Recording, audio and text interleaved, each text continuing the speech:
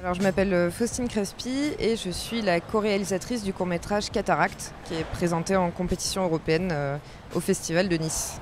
Euh, je suis vraiment ravie que Cataract ait pu euh, servir euh, de film comme base de discussion autour de ces problèmes de l'addiction, de la marginalisation aussi des personnes qui ont un, problème par rapport à ça. Alors, Jean-Pierre Paringo, donc je suis amateur d'art et curieux de tout ce qui peut se passer dans le domaine de l'art contemporain. Ravi de suivre ces séances de cours parce que je trouve que c'est une discipline dans laquelle réalisatrices et réalisateurs sont obligés de cerner très vite leur sujet et leur maîtrise. On voit déjà parmi certains ceux qui vont rapidement passer au long métrage euh, Je m'appelle Nicolas Vaquier, je suis membre du jury Expérience.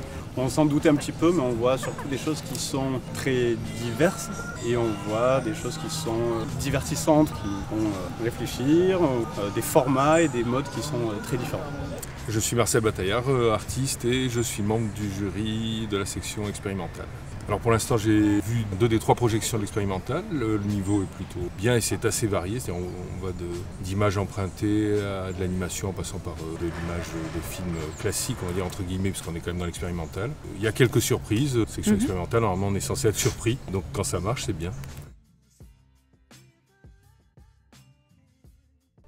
14 octobre, avant-dernière journée de festival, retrouvez sur les écrans euh, les toutes dernières euh, films projetés en compétition européenne, donc au MAMAC à 14h, 16h, 18h et 20h. La compétition court d'ici sera projetée euh, au Mercury à 16h, donc le programme 2. également au cinéma Mercury, la compétition Expérience, toute dernière chance de pouvoir la voir au cinéma à 18h. En parallèle, les séances thématiques, donc le Nice Dance Film, sera projeté à 18h également au Mercury.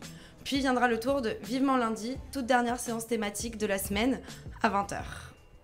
Bonne séance